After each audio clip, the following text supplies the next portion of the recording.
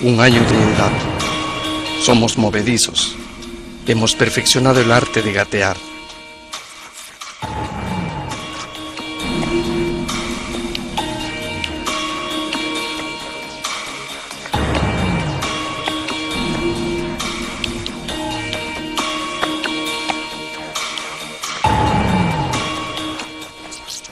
Nuestros huesos son más fuertes.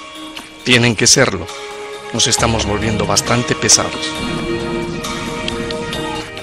Al nacer, el esqueleto es mayormente cartílago, el mismo material que nuestras orejas. El cartílago es flexible. Es lo que nos permite escurrirnos a través del canal de nacimiento. Pero después del nacimiento, nuestros esqueletos blandos son un problema. Ellos necesitan ser rígidos para soportar nuestros cuerpos que están creciendo y proteger nuestros órganos vitales.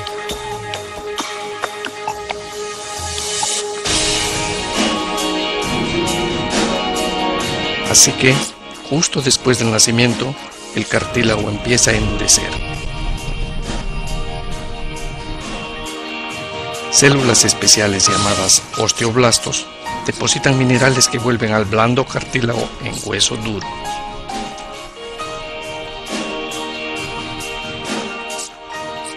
Algunos huesos incluso se fusionan en conjunto. Al nacer tenemos vacíos entre las placas del cráneo, lo cual permite a este deformarse durante el nacimiento. Durante nuestro primer año, estos espacios se cierran gradualmente hasta que el cráneo por fin se completa.